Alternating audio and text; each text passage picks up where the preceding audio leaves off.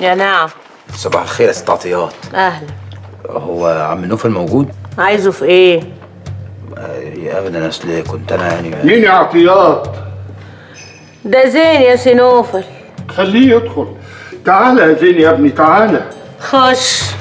تسلمي. أهلا أهلا يا زين. إيه يا ابني؟ بقالنا مدة ما شفناكش.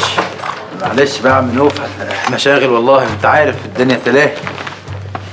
خير خير يا زين. خير إن شاء الله. أنا كنت معدي قلت أطمن وأسلم ويعني أهلا وسهلا يا زين. إزيك يا دعاء؟ الحمد لله. الله إيه العبارة؟ هو إيه الموضوع؟ لا مفيش حاجة. أنا بس آه، بعد إذنك يعني يا عم نوفل كنت عايز دعاء في كلمتين. طيب ما هي قدامك أهي. لا هكلمها بس كلمتين بيني وبينها كده يعني. ده بعد إذنك طبعا. يا حلولي كلمتين بينك وبينها. ده في أسرار بقى. إيه يا دودو؟ إيه الموضوع يا روحي؟ بعد إذنك يابا تعالى يا زين بره.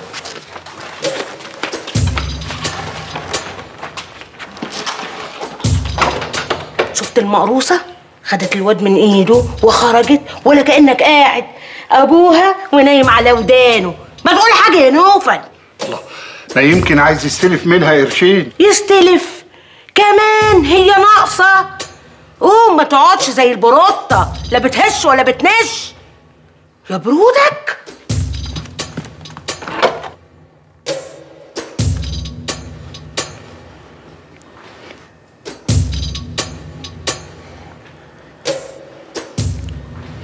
أنا مش عارفة أقول لك يا زين على وقفتك معايا دي. ما تقوليش حاجة. إيه؟ هو إحنا غرب عن بعض ولا إيه يا بت؟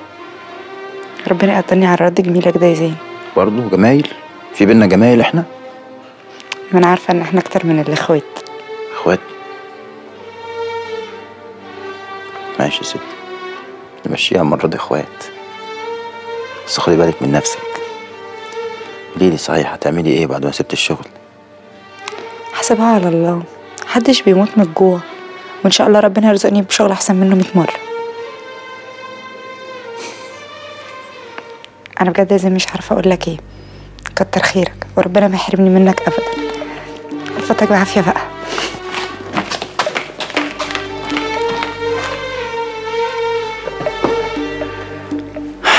الله يعافيك يا دعاء.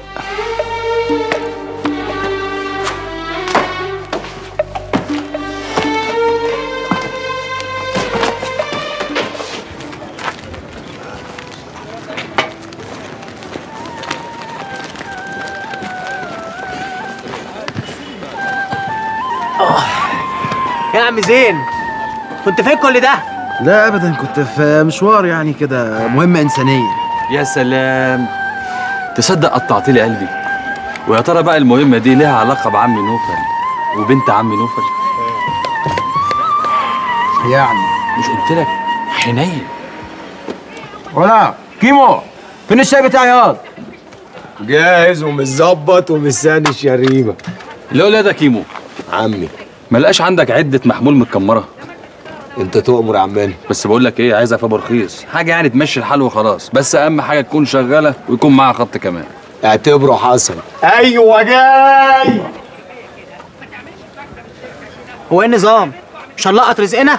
ولا النهارده هنبلط في الخط؟ ده يابا النهارده كونجيه وبكرة بقى ربنا يسهل ونعمل شغل على تقيل قوي. شغل إيه؟ اصبر على رزقك تنول يا زين هخلع أنا بقى خمس دقايق كده للمعلمة انشراح اخلص معاها مصلحة على السخان وأرد على طول. مقضية بإذن الله.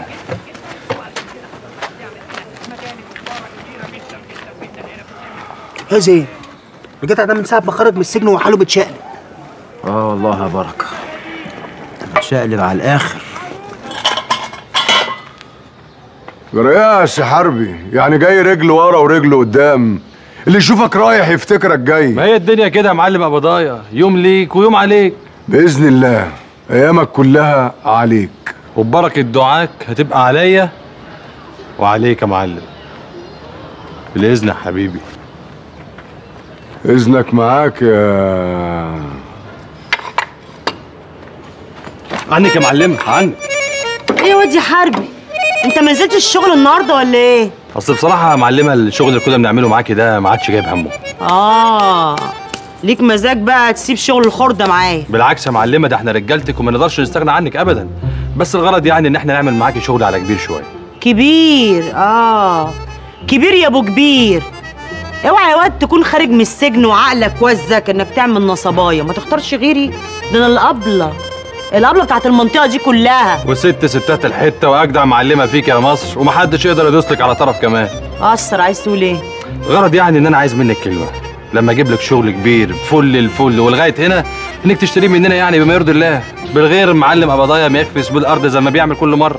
هو أنت يا ابني مش جبت لي شغل قبل كده وأنا رضيتك؟ حصل يا معلمة بس الغرض إنه يمشي كده على طول. ماشي. روح اسرح النهارده وهات لي بضاعة فل الفل وحراضيك خلينا وراك لغاية ما نشوف اخرتها الميه تكدب الغطاس. طب يلا اتكل على الله ولما نشوف إيدك بقى على ميايه بأمارة إيه؟ اصطباح علينا بالعربية وبخصمهم مني. ما هوش معقول يعني يا معلمة واحد طويل عريض زيي؟ هينصب عليك في 100 جنيه. لما نشوف آخرتها والميه تكدب الغطاس 100 جنيه إيه؟ معاش ولا كان اللي يكذب عليك يا معلمة. وبكرة تعرفي إن حرب المهدي قد كلمته بالإذن بقى. سلامة يا بضايق غلط. أكبر غلط يا برنسيسة. شكله كده بياكل بعقلك كنافة بايتة. أنا ليا نظرة في الرجالة ونظرتي ما بتخيبش ابدا. ونظرتي بتقول إن الواد ده دماغه نظيفة وهيشتغل ويجيب بضاعة كويسة. نظرتك هتخيب يا برنسيسة. دول عيال هتي ما يجيش من وراهم غير النوش والسك العفش. انت بتكرههم ومش نازلين لك من زور ومش طايقهم. بس العيال دي هتنفعنا قوي. وقلت لك بقى بطل قلق وما تقلقناش. وقلت قبل كده كتير المصلحة ما بتحبش القلق.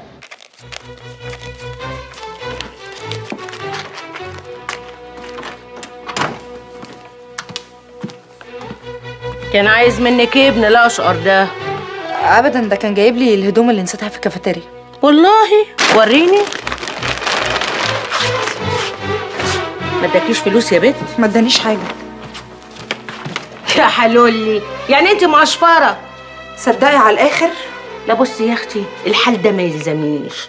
حكاية إنك تقعدي في البيت من غير لا شغل ولا مشغلة ماليش دعوة ما تلزمنيش.